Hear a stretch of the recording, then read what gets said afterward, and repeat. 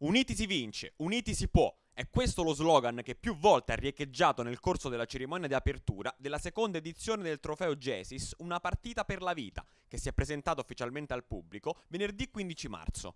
La sala Tirreno della regione Lazio è stata letteralmente presa d'assalto da tutte le squadre partecipanti al torneo e da tutte le illustri personalità che nel corso degli anni si sono legate al Gesis e alla sua nobile causa. Sì, perché come dicevamo in apertura, solo l'unione delle componenti porta a grandi risultati. Così, anche per questa edizione, l'organismo di Eleuteri e Laureti si è legato indissolubilmente alla Fondazione Bambino Gesù per sostenere in maniera solidale e benefica quei ragazzi meno fortunati di altri.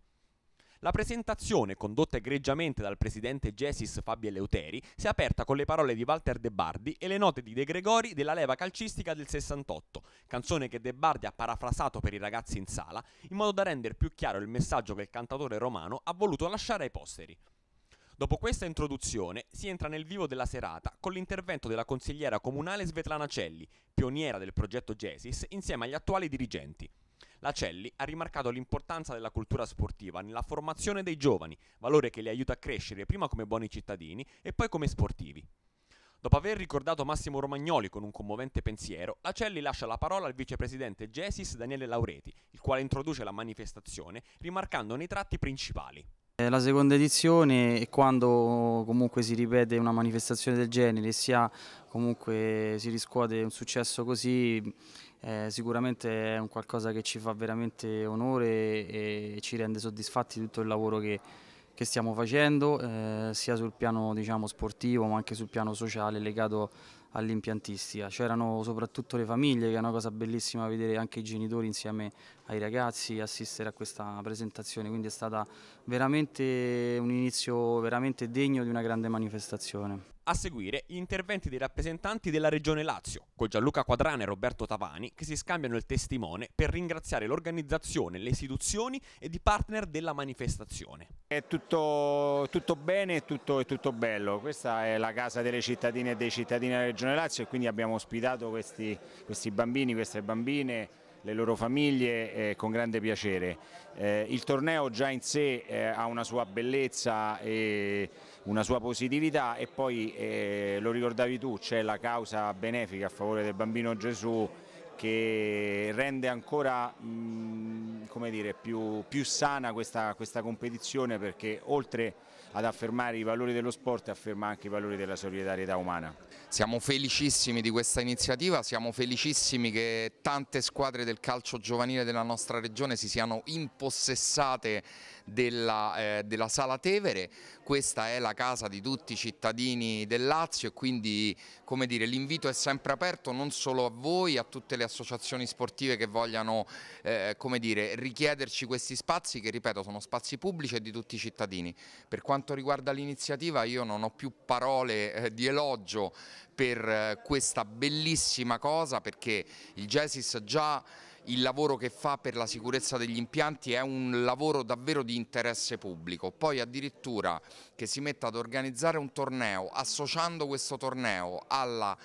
più grande eccellenza forse della sanità regionale che è il Bambin Gesù che ha fatto tantissimi interventi su tanti bambini, ha salvato tante vite, ha rimesso a posto tanti arti, eh, che dire, davvero complimenti, non mancheremo nel modo e nelle forme che potremo, sosterremo questo progetto oggi e domani. La girandola degli interventi istituzionali termina con quello del Presidente della Commissione Sport di Roma Capitale Angelo Diario, ancora una volta stupito dall'impegno profuso dal Gesis. Ancora una volta ci troviamo a fare i complimenti al Gessis che dimostra, conferma il, eh, la proattività dell'associazione sotto tutti i punti di vista, quindi sia per quanto riguarda il, la gestione degli impianti, sia per quanto riguarda la produzione di eventi e, e quindi ci fa molto piacere ovviamente come al solito essere al fianco del, dell'associazione e arriveremo sicuramente in finale a, a divertirci e stiamo pensando anche eventualmente di scendere scendere in campo con una squadra mista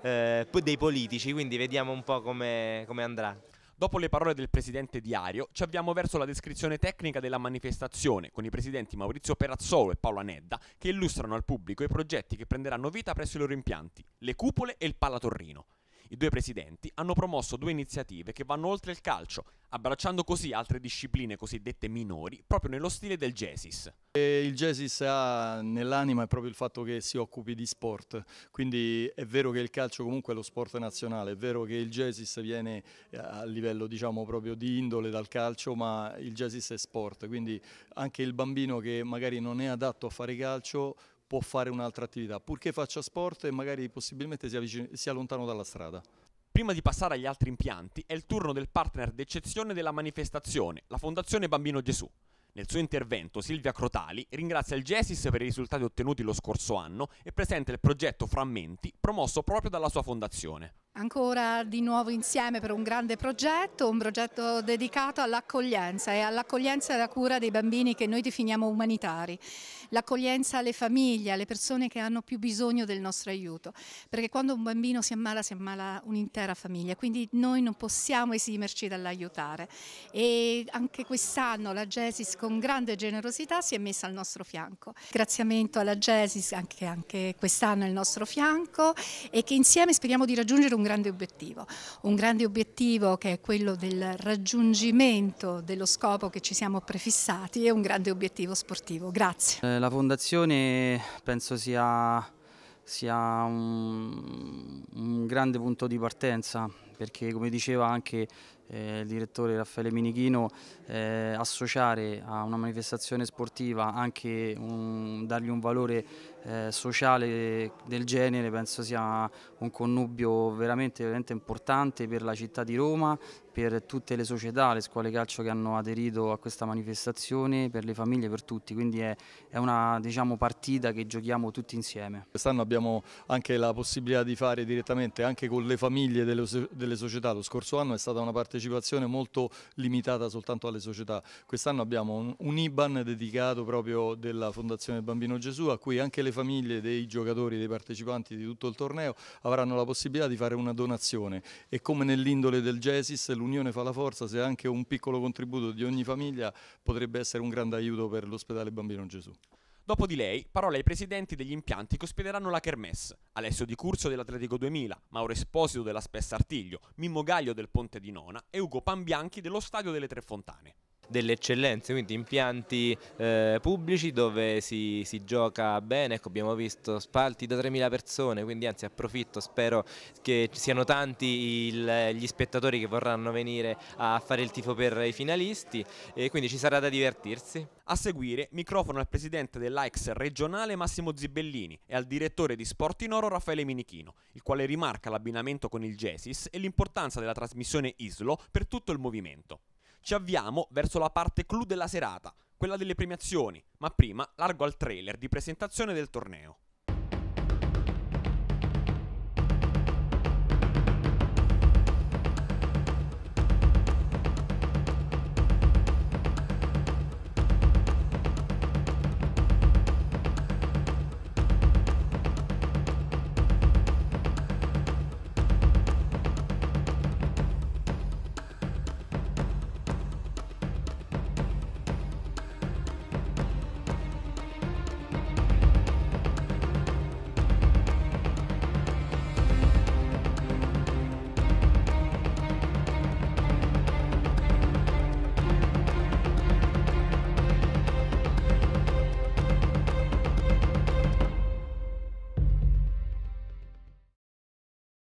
Dopo il filmato, la consegna delle targhe di ringraziamento a tutti i relatori che hanno partecipato alla presentazione e agli sponsor della manifestazione come Repower e SIS Impianti Sportivi.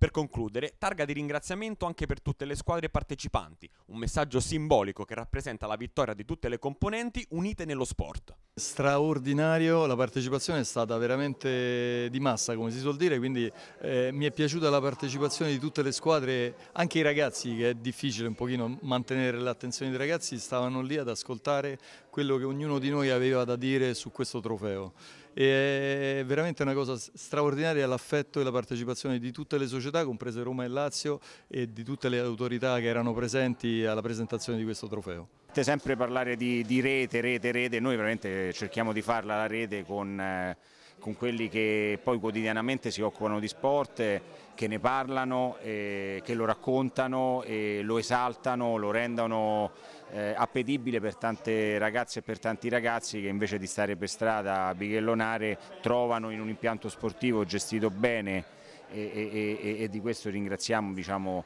il Gesis, ringraziamo chi quotidianamente fa questo, fa questo, lavoro, lì trovano una casa appunto per, eh, per crescere insieme ad altri e ad altre e, e conoscere sia le vittorie che le sconfitte. Questo è stato direi sintomo di intelligenza perché quando le istituzioni indipendentemente da, dalle correnti politiche si uniscono e sostengono un'iniziativa del genere significa che comunque la politica sa essere anche eh, così eh, sostenitrice di, di, valori importanti veramente e non eh, così in maniera superflua. Quindi un grosso anche risultato questo vedere appunto tutte le amministrazioni qui sedute al banco dei relatori e soprattutto ecco, i messaggi che hanno proferito alla, alla gente che era presente eh, sono stati significativi e importanti per, per, il futuro del calcio ma non solo dello sport in generale perché il Gesis non ci scordiamo che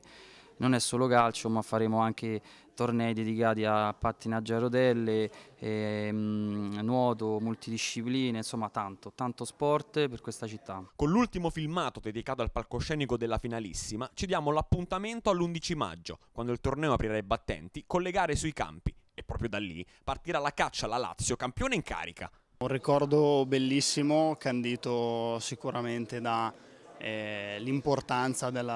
dell'evento, l'importanza del carattere sociale che sta dietro al, al trofeo eh, per i bambini che soffrono per la fondazione del Bambin Gesù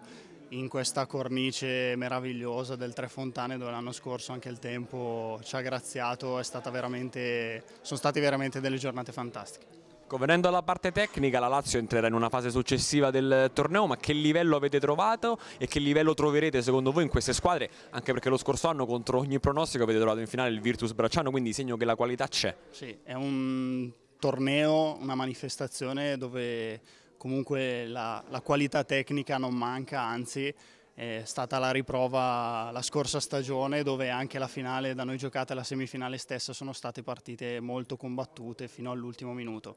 Anche quest'anno, soprattutto per i nostri ragazzi che giocano un anno sotto età e a quest'età si fa sentire soprattutto a livello fisico, sarà dura ma ce la metteranno tutta. Il mio augurio è che possa essere come lo scorso anno una manifestazione di sport in cui i ragazzi si divertono fino all'ultima partita, sia vinta sia persa. Diciamo l'altro giorno a dei ragazzi, ragazzi non c'è vittoria o sconfitta, eh, quando vinci vinci, quando perdi dovresti imparare qualcosa, quindi anche nella sconfitta dobbiamo trovare il lato eh, ottimistico della, della vita. Diciamo. Appuntamento alla finalissima in un impianto splendido della nostra regione, lo Stadio delle Tre Fontane dove speriamo di poter portare il Presidente Zingaretti per le premiazioni, sono certo che ci tiene moltissimo e faremo di tutto per fare in modo che sia lui direttamente a premiare i ragazzi e le squadre vincitrici.